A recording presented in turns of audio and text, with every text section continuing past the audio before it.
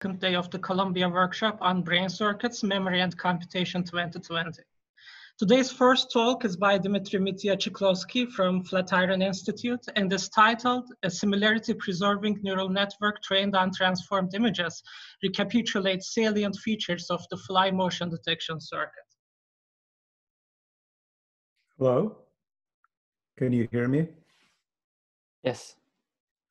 Uh, so this is a long title. Um, but uh, the talk is really about how brains detect visual motion. And I thought it would be appropriate to start the talk uh, by showing uh, this optical illusion, if, if it works. Can you see it?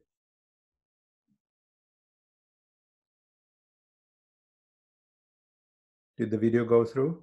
Yeah. So what you're seeing is kind of uh, paradoxical because you can see the snow continuously um, moving towards you, but it doesn't really advance. So, what's going on? Well, the explanation is that uh, this is a looped sequence of four images. I'm going to step through them now. So, the first two are the regular images, and then the shifted version of the regular image, and then the negative, and then the shifted negative, and so on. And uh, to explain uh, what's going on here, I need to invoke something that is called uh, the phi and reverse phi illusions, um, which work as follows. So the phi illusion is if you have an object that has shifted say downwards in two consecutive frames, then you perceive emotion downwards. By now, we're so used to uh, videos and uh, Hollywood films that we don't really think of this as an illusion, but that's what's called phi illusion. Seems completely natural. Uh, but the next step is when you have uh, the, the spot actually jump upwards but change contrast as it does that. And then you perceive that also as motion downwards. And that's what's called the reverse phi illusion. In the next frame, the black spot uh, moves downwards again, and that's a regular phi illusion. So you perceive it as a downward motion, and then the whole sequence loops again uh, by changing the contrast and the spot moving up. So again, you perceive motion downwards. So at every frame transition here, you perceive motion downwards, right? But um, of course, the spot doesn't ever advance. The reason I wanted to show this illusion uh, is because uh, it is actually shared by most visual animals, uh, including um, not just um, humans and vertebrates, uh, but also invertebrates and even fruit flies. And so, since the illusion like this is shared among all these brains, it is reasonable to think that the mechanism of motion detection is also shared between them, at least on the algorithmic level. And so, to understand how our brains process visual motion, we are going to study this problem in fruit flies. So here's how we know that fruit flies can perceive visual motion. Um, similar videos you also saw in the talks by uh, Gaby Maimon um, and, and, and uh, Mika Jusula. So this fly is watching a visual stimulus moving to the right, but it would like to turn to the right, but it's glued to the apparatus and cannot turn its body. But it thinks it's it's turning uh, because it's turning the sphere underneath its feet. And the rotation of the sphere is reported by the black line here on the left. So you can see that the fly perceives motion because it seems to be trying to turn in the direction of the moving stimulus. Now, when the direction of the moving stimulus is reversed, the fly is trying to turn into the opposite direction. You can see by black line here. And at the same time, in the same fly, they're monitoring the activity of this giant neuron HS, which reports leftward motion. and that's shown by this green line. So you can see that experimentally we can have both behavioral and physiological readout of motion detection in flies. So this is, of course, um, just a regular phi illusion, not reverse phi. But the same experiment can be done for reverse phi. So the big question is, how do flies um, perceive visual motion? And uh, this problem has a very long history, uh, going back to the work of Hassenstein and Reichardt uh, more than uh, 60 years ago, uh, who proposed this incredibly simple scheme uh, where signals from two photoreceptors pointing at the adjacent locations in the visual field are being combined after passing one of the signals through a time delay. So if there is a stimulus moving leftward, it excites the right photoreceptor before the left one, but before, because of the time delay, the two signals arrive at the multiplication unit at the same time, get nonlinear and enhanced, and signal leftward motion. If I build a mirror reflection of this motion detector, then similarly, I will be able to detect rightward motion, where the delay is now on the left arm of the detector by combining two such mirror reflected units into one, um, we get, uh, with opposite signs, we get what is called a balanced elementary motion detector, the way Hassenstein and Reichardt proposed it. And that motion detector signals rightward motion with positive sign and um, leftward motion with negative sign. So this uh, model of motion detection acquired a almost canonical status in the field of invertebrate uh, visual neuroscience, and not just because of its simplicity, but also because of the many very um, uh, serious and impressive uh, experimental tests of the predictions of this model. Most of these predictions were verified experimentally over half a century. And so you would think that the issue would have been closed. But actually, that's not the case. And the reason is that all of those experimental tests were actually indirect. And to explain what I mean by the indirect tests, I have to tell you a little bit about the fly visual system. So um, as you already heard in previous talks, uh, flies have compound eyes consisting of about 800 microlenses. And behind each microlens, there are photoreceptors. And uh, collectively, they're all referred to as the retina in a fly. And then the photoreceptors project uh, their uh, axons into retinotopically organized layers which process that visual information. Those layers are called lamina, medulla, lobula, and lobula plate. So what has been known for a while is that the neurons in the lamina have no directional selectivity. That means they respond uh, equally to the stimulus moving in either direction. At the same time, these giant neurons of the lobula plate um, actually respond to the motion anywhere in the visual field because they integrate the motion signals over the whole visual field. One of those giant directional neurons was the neuron HS, calcium signal in which I showed in uh, the beginning of the talk. So um, the reason I said that um, the tests of the Hassenstein-Reichardt uh, model were indirect is because um, those giant neurons actually uh, don't detect motion themselves, they integrate motion over the visual field. And it was thought that the local motion detection happens in the layer called the medulla, where hypothetically Hassenstein-Reichardt detectors were supposed to be located. And those detectors would project to the um, this giant directional interneurons which integrate would integrate their signals. So the reason um, that the tests were indirect is because nobody was able until uh, the last decade or so to study either the anatomy or the physiology of the medulla. And all the experimental tests relied either on physiology by recording from those giant directional interneurons of the lobula plate. Uh, the, that's the work of um, uh, Borst or uh, Rob de Ruyter and Bill Bialek, if you know, and um, or or behavioral readouts, which are also governed by the signals from those giant directional neurons.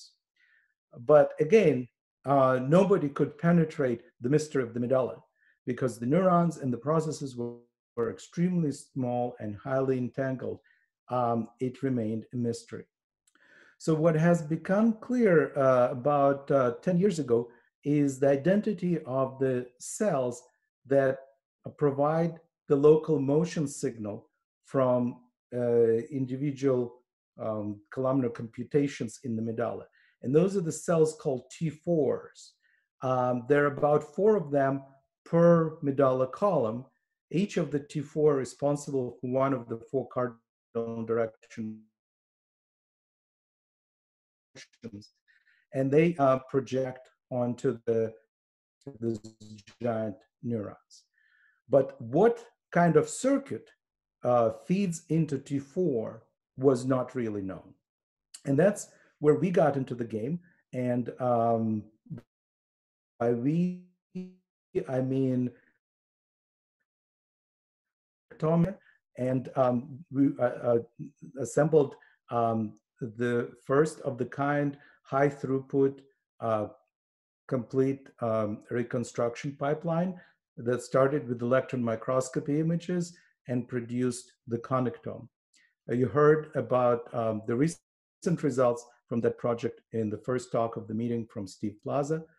And um, so I'm not going to go into the technical details, but just uh, show you uh, the movie that illustrates the reconstruction. So ho hopefully the movie is coming through.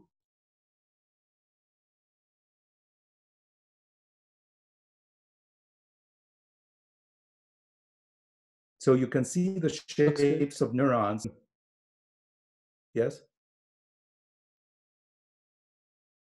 The volume that covers about seven medulla columns. And so we have all the identities of all those neurons. And in addition, because this is electron microscopy imaging, we can identify all the synapses and count the number of synaptic contacts between all the connected neurons and we will use those counts further down in the talk to estimate the strengths of connections. So we have been able to assemble the medulla connectome from this uh, data, but I'm going to spare you all the details of this and just show you the part of the connectome that is relevant to the problem of visual motion detection. That is the circuit, the inputs and the circuit that leads onto that cell T4 that detects motion locally in one particular direction. So each T4 gets inputs from several adjacent, uh, uh, several adjacent columns um, shown, uh, but here I'm going to uh, present you, uh, for, for now, I'm going to present you only with the cartoon of the connectivity uh, based on the three adjacent columns from the medulla. So in those three columns, information from photoreceptors that is relevant to this problem is carried in three channels um, designated by the um, neuron subtypes and the different colors. The difference between those pathways can be seen in the physiologically recorded um, impulse response, where you can see that the green and the red channels are simply low pass filtering the photoreceptor signals. But they do so with opposite signs. The blue channel has a biphasic response. So one can think about it as a taken temporal derivative on the photoreceptor signal. So all those three channels are available in each one of those three columns. Now let's look at the connectivity of the T4 cell that is responsible for the motion to the right. And this is um, the work of uh, Shinya Takemura, um, a brilliant scientist at Janelia, who found that the synaptic connections from those three channels onto T4s are highly specific. Even though this T4 could potentially access inputs from each of those three channels in each pixel, it only grabs input from the green channel in this pixel, blue channel in this pixel, and red channel in this pixel. And to convince you that this must have something to do with local motion detection, I'll show you another cartoon that is of the connectivity of the leftward motion detecting T4 cell. You can see that it is also highly selective in which channels it actually um, synapses with. But the inputs are flipped. So the green and the red channels are um, received from the um, opposite sides of the central pixel. Only the derivative channel uh, is received uh, from the central pixel in both T4s. So after seeing such data, it is reasonable to think that this has something to do with the circuitry and the algorithm of the motion detection. But you can also see that this doesn't easily map onto the Hassenstein-Reichardt motion detector. For example, the Hassenstein-Reichardt motion detector combines inputs from two photoreceptor channels, not from three, as was seen in connectomics in the fruit fly. So what is going on here? To understand how this connectome could give rise to motion detection, I think we should step back and think about motion detection in very basic terms. So imagine that you have some kind of an object with this kind of light intensity as a function of the spatial coordinate. So it's a one-dimensional image, okay? And suppose it shifts from frame to frame to the right. While it does so, the object um, brightness does not change but because the object moves, the pixel intensity that the fly uh, retina registers, of course, changes, goes from the red to the blue line. In order to detect motion, we will need a relationship that ties together the temporal change in the uh, light uh, pixel intensity or the temporal derivative with the displacement from frame to frame, theta t, which is the uh, speed of motion times the interframe interval. As you know from basic calculus, the ratio of those two uh, quantities is equal to the spatial derivative of the pixel intensity.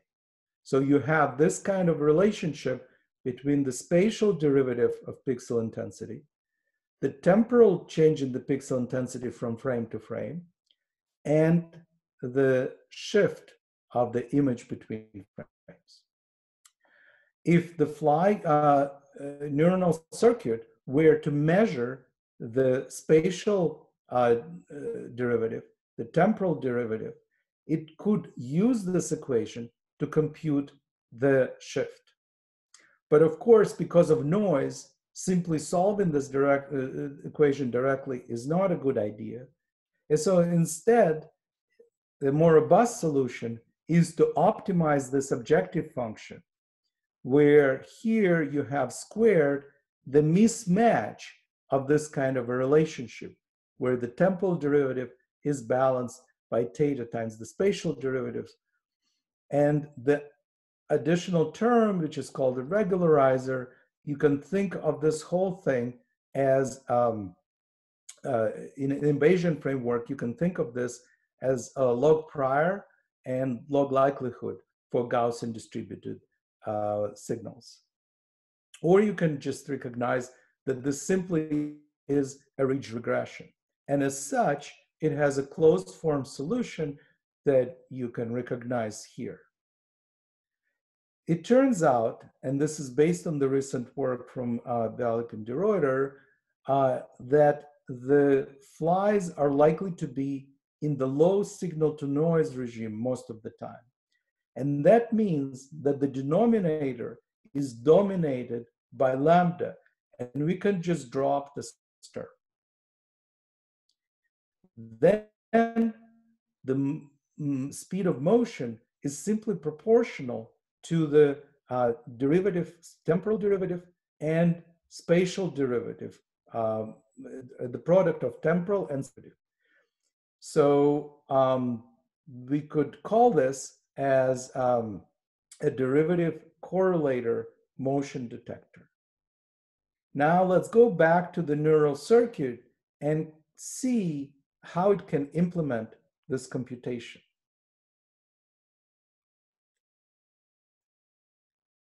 So as I already told you, the blue channel that carries uh, carries the temporal derivative of the photoreceptor signal uh, from each pixel. And so we can have access to that temporal derivative from the central pixel. Now we need to compute the spatial derivative, which is just the difference in pixel intensity of adjacent pixels.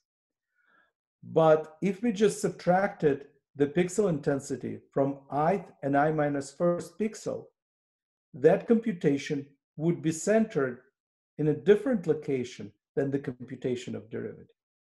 So a better way to do it is to combine the estimate of the spatial derivative to the left and to the right of the central pixel. And so the spatial derivative is approximated as the difference of the signal from i plus first and i minus first pixel. And that estimate is centered the same place as the temporal derivative is. Now you can see how this computation can be implemented by the circuit that came out of the fly connectomics. The blue channel in the central pixel supplies the temporal derivative to the T4. The green and the red channels carry the pixel intensity with opposite signs. So by combining them, the neuron can take the difference. And if there is a nonlinear interaction between that difference and the temporal derivative supplied by the blue channel, it can compute the motion velocity by multiplying the spatial and the temporal derivative. Uh, I have to say that um, the mechanism of nonlinear interactions here are still not fully understood, and I'll talk about this in a little bit.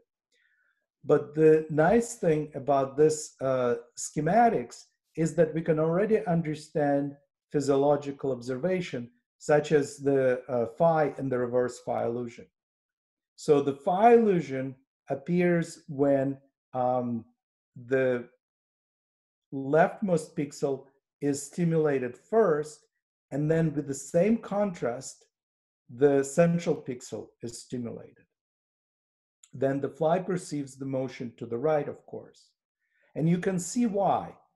Uh, this is because the increase in the contrast on the left pixel results in the negative signal in the red channel, which is inverted by this inhibitory synapse and provides a positive input to the T4, which is also low pass filtered. Then, when there is a step up in light intensity in the central pixel, the blue channel estimates its derivative and provides a positive input in the T4. Those two inputs interact with each other and result in the uh, excitation of T4 signaling rightward motion. Similarly, to understand reverse Phi illusion, when we lower the contrast on the rightmost pixel, the green channel responds negatively, inhibitory synapse flips the sign and gives the positive input to T4, which interacts again because of the low pass filtering. It hangs around and interacts with the temporal derivative of the input to the central pixel. It is actually important that the uh, both in phi and reverse phi illusions, it's important that the signals are presented to this particular pixels. If one were to shift the presentations to nearby pixel, say first stimulating central and then the side pixel, then in this T4 cell, one would not get an excitation. And this has been demonstrated experimentally uh, by the lab of Damon Clark. And it corresponds to this uh, mechanistic view of what's going on in the circuit um, obtained from connectomics. So it seems that this derivative correlation detector can account for both phi and reverse phi illusions. And now I should say a few words about the nonlinear interactions that were first hypothesized by Hassenstein and Reichardt, um, but are needed, of course, for motion detection. So I think that the jury is still out. Um, there are a lot of papers uh, um, models and uh, uh, also reporting experimental results, some of which suggest that the summation is dendri in dendrites is purely linear, and then the nonlinearity happens further downstream in the axons, perhaps, or their terminals, and others see nonlinear interactions in the dendrites. Whichever way it happens, I think the general framework, as captured by the derivative correlation motion detectors, still works because all that is needed is some kind of nonlinearity between those two inputs. So um, another question you might have is, um, how is it uh, possible that uh, this model is correct if um, I said in the beginning that experimental work over half a century uh, verified the predictions of Hassenstein-Reichardt model. Uh, so what's what's going on to what's going to happen with those experimental results? Well, it, it, it's actually uh, rather unexpected, at least for us.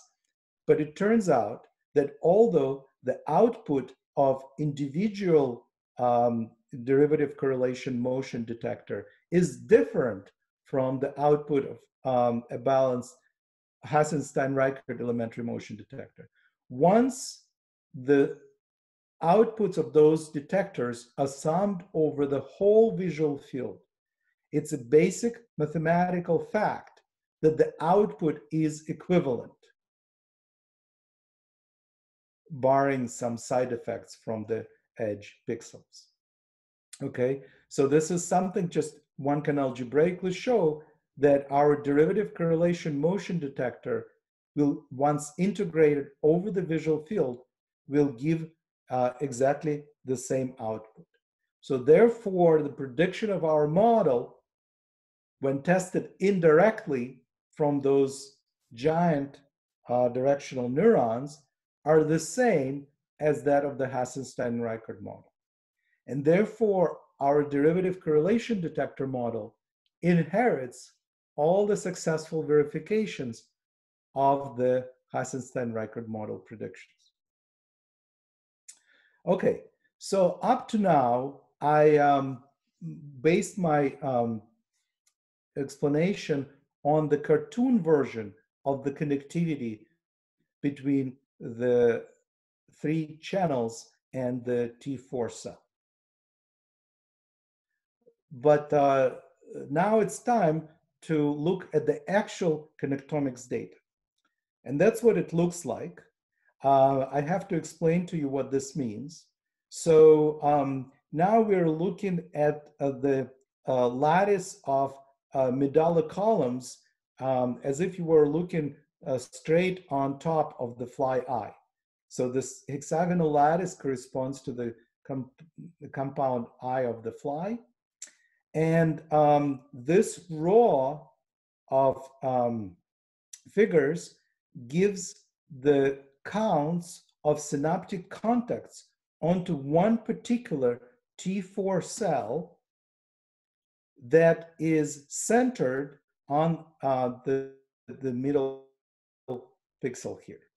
Each of those um, of daisy flowers uh, gives the counts of synaptic contacts that that T4 receives from a different channel. So the leftmost daisy gives the counts of synaptic contacts from MI1s that live in the corresponding uh, seven columns. You can see that the majority of the inputs come from the central uh, pixel, just as shown in the cartoon. Now the MI4 inputs, they come from this three pixels uh, with the uh, weights shown here by the numbers. And although it's not as binary as the cartoon suggested, it is still true that most of those inputs are to the right of the central pixel. Now the red MI9 inputs come from the left of the central pixel onto the same T4. And that's what justifies this cartoon. But as you can see by the counts of synapses on this T4 and the other T4s centered on the same pixel, but responsible for the motion detection in four cardinal directions, you can see that um, they receive synaptic inputs from the, the corresponding columns, just as was represented by the cartoon. So I didn't lie. But also what this picture illustrates that the inputs are in the circuit is highly non-binary. And each of those T4, T4s has its own envelope of inputs that are individually adjusted and uh, balanced to detect motion. Why am I making such a big deal out of it other than you know showing you the true data and uh, trying to prove that my cartoon is correct? Well, because um, how do you think this circuit could have wired up? Okay, so of course we know that genes play a crucial role in wiring up the visual circuitry in the fly. But I cannot possibly imagine that all those numbers, all those synaptic counts, which are different for each T4 cell and for each kind of input and for each location in the retina, could have been programmed genetically. And therefore, we believe that these counts of synapses have been tuned by activity dependent plasticity, by synaptic learning rules that responded to some kind of input. Uh, it is, of course, known that fly circuitry is not rigid and has been shown that the counts of synapses in the lamina even vary um, by at least 10, 20% um, with the circadian cycle. Um, but it has not been proven that this happens in the activity dependent manner. So this is of course a hypothesis, but I find it hard to um, explain how you could wire up the circuitry with all those uh, various synaptic weights without it. So the circuit got wired up with activity dependent synaptic plasticity rule, then the question is, what kind of an algorithm could those plasticity rules implement? Could this visual motion detector be learned from data without supervision?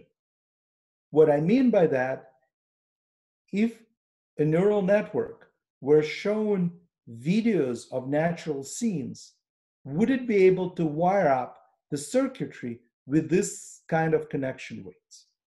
And of course, no one is telling that circuitry uh, that it's doing a good or bad job. It just has to learn it from the um, motion in the, those videos in an unsupervised manner. And to start answering this question, um, we came up with a model where such kind of a neural network can in fact learn emotion detector using just biologically plausible uh, local learning rules. In the interest of time, I can't go into the details, but I'll just give you a bird's eye view of what we did. So the goal here is to learn the motion detector. That, that same um, derivative correlation motion detector that I tried to explain to you to build up intuition. The starting point for this is in the work of Rao and Ruderman, who pointed out that if you have a shifted image between time frame t and t plus 1, and here xt is a vector, each component of which represents an intensity of a corresponding pixel. So the difference in the pixel intensity vector, delta xt, just like our derivative before delta txt, can be expressed as a linear operation or simply matrix A the is xt scaled by the velocity theta t. A is also known translations. This will be a generator of translations. This is which is simply a spatial derivative.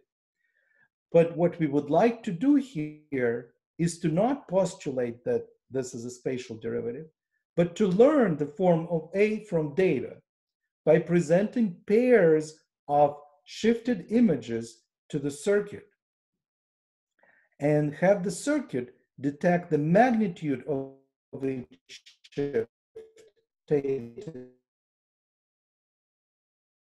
as well as learn this generator A, which will be central to the of the shift.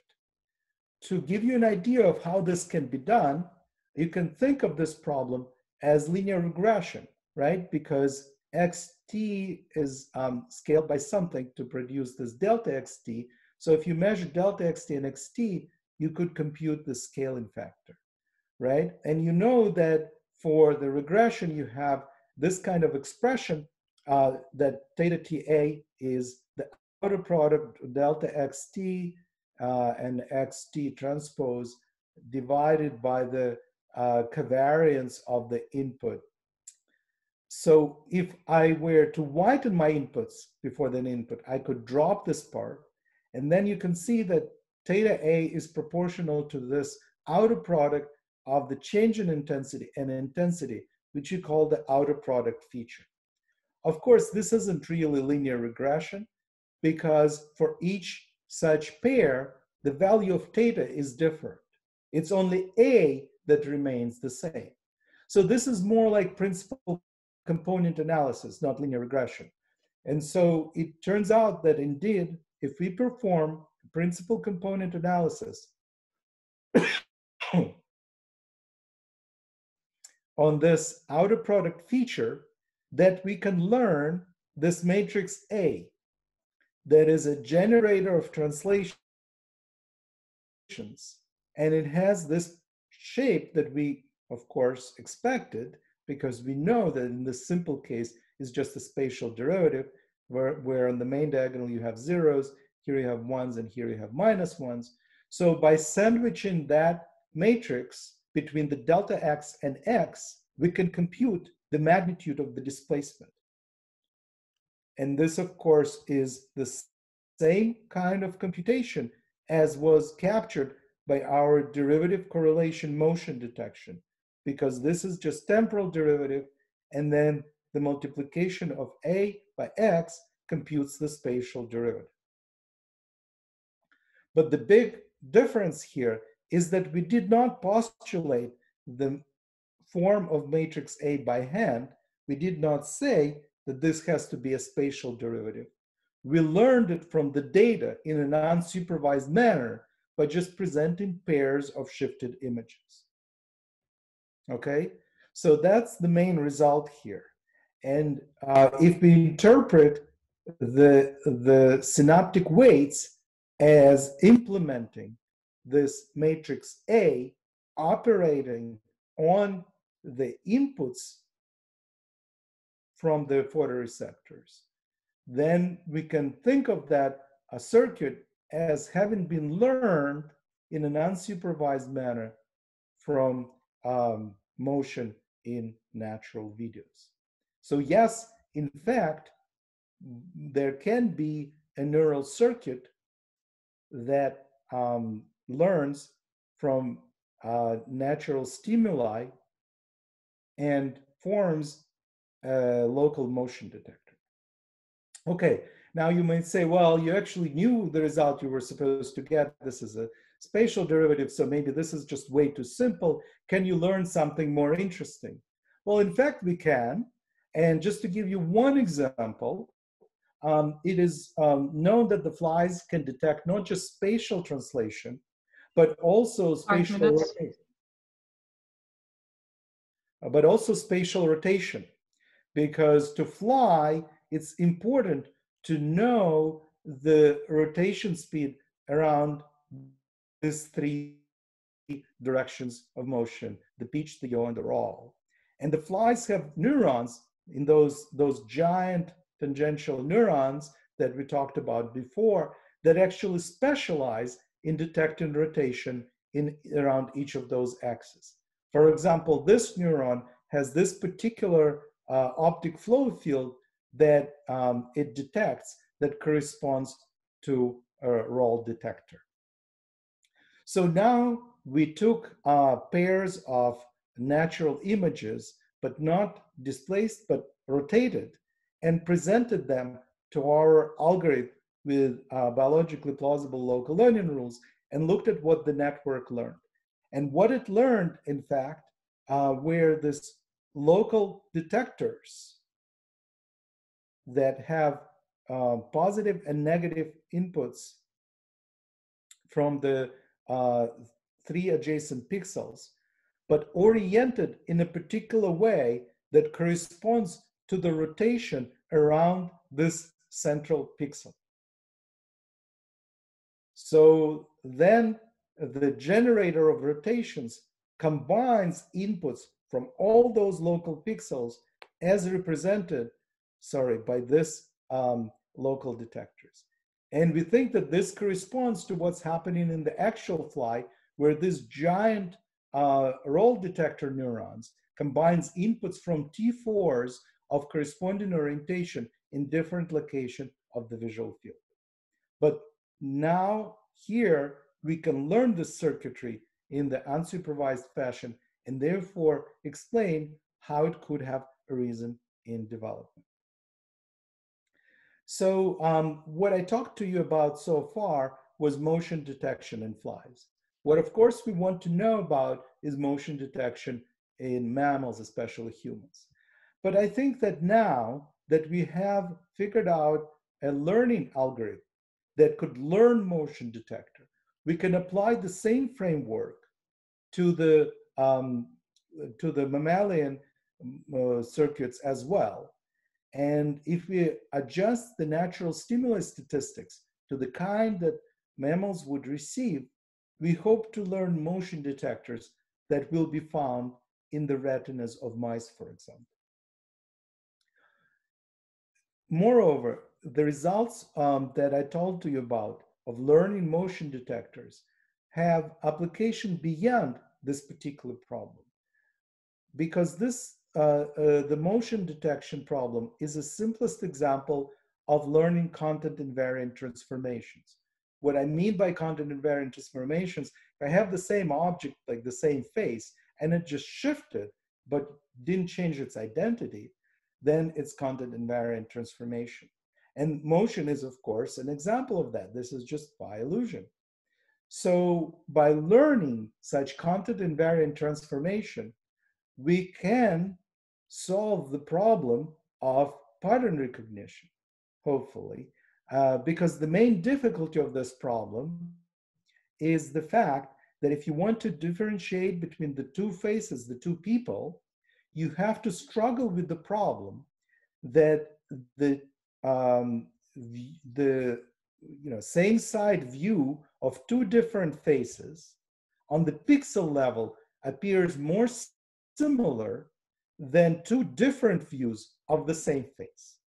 And so what your neural network has to do is to, um, if you think about representing pixel intensity uh, vectors, stimuli pixel intensity vectors in this high dimensional space, they live on this highly entangled manifolds in the pixel intensity space.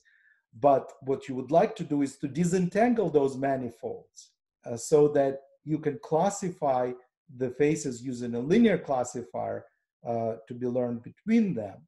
And this kind of a disentangling of factorization is thought to be central to the solving the problem of pattern recognition. And since our work on learning motion detector um, gives a solution to the simplest version of this problem, we think that it opens the door to solving this problem in a biologically plausible way. So to summarize, I hope I was able to communicate uh, that uh, learning uh, um, image translations uh, using uh, this outer product features results in a learning algorithm uh, that when trained on natural images recapitulates the motion detector architecture in Drosophila and reproduces both anatomy and physiology. And so it's in agreement with a lot of experimental facts. And also, as I just mentioned, we think that this is just the first step towards learning of generic content invariant transformations, which are central to pattern recognition. And finally, I would like to thank um, the two people that did most of the work, Yanis Bahroun and Anirvan Gupta. Uh, I was privileged uh, to collaborate with this uh, distinguished scientist. Thank you.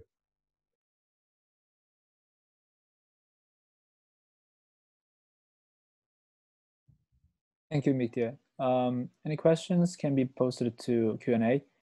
Um, there's already one question in Q&A. Mitya, can you see it? Uh, yes. Um, so this is from Wenhao Zhang. Um, it is very interesting that you learn the generator of rotations. I'm wondering that is the rotation in your model 2D or 3D. A big challenge of 3D rotation is that the 3D rotation generators are non-commutative. How did you deal with this non-commutative generators? Uh, so this is actually an excellent question. And my answer is very simple, that this is just 2D rotations. So we haven't dealt with this yet. Uh, but we are um, hoping to deal with this now. And so any, if you have any thoughts, I, I would love to hear um, them from you.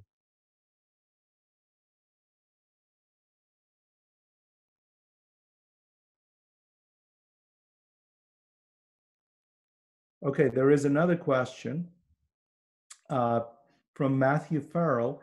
Uh, PCA and similarity matching typically constrains weight matrices to be orthonormal. Is this accounted for in your framework? So this is also a very good question. Actually, uh, the weight matrices may or, or may not be orthonormal. Uh, so the reason is that um, uh, what is orthonormal is the projection matrices, and they combine out of the um, feed-forward weight matrices um, pre-multiplied by the inverse of the lateral connections without going into the details of the similarity matching framework. So, and this is something very hard to, um, to check. Also, I have to point out that PCA is um, a really nice model, but it's of course oversimplified because it doesn't take into account the nonlinearity in neurons. And what we actually uh, try to do to model the nonlinearity, instead of PCA, we performed clustering. And it gave uh, slightly different results. And in clustering, uh, the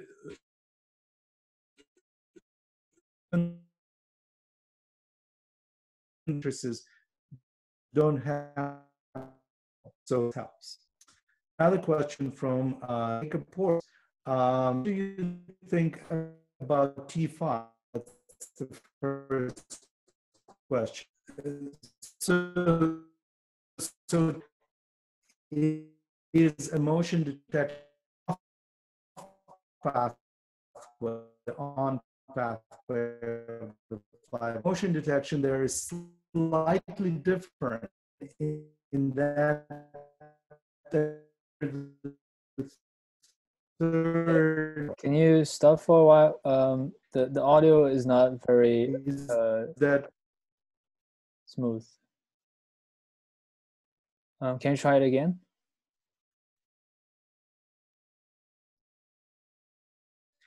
Yeah, so, and my answer is that we think that the difference in the T5 circuit reflects the difference in the statistics of off and on channels in uh, that the fly sees. Um, however, we don't have the uh, those um, results. This is just a guess. The second question is, al. found differences between low versus high SNR regimes. Does this work with your model? Um, so if you're referring to the, um, if you're referring to the Potters and Bialek work uh, that suggested that there should be different optimal calculation, it is certainly to be expected that uh, we would learn different detectors in the low and high scenario, SNR regimes but I'm not sure this would be the same, exactly the same kind of detectors that they would have obtained. And experimentally, uh, I think there is no data on that. Um, another question from Sarath uh, Ravindran. Uh, do you already have results from the pattern recognition with the content invariant transformations? Um, not, not really. So um, the, the, the, the very last uh, slide of my talk is um, forward looking. Uh, we think that this uh, content invariant transformations, um, when learned, would allow us to do pattern recognition. Uh, but that work is ongoing.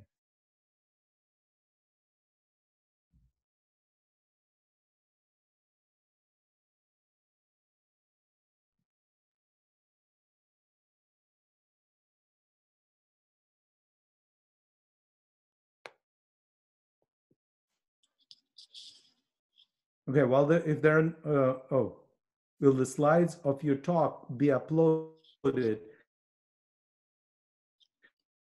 Yes, I'm happy to upload the slides of the talk, but also I think it's being recorded and it will be on YouTube. Is that correct, Ian? Yes, uh, it's going to uh, be on YouTube. Uh, please check our website after uh, after the workshop. And um, before I answer the next question, uh, before I forget, I want to thank the organizers of this meeting uh, who did such enormous work to pull it all together. I, I'm really uh, applauding um, their effort.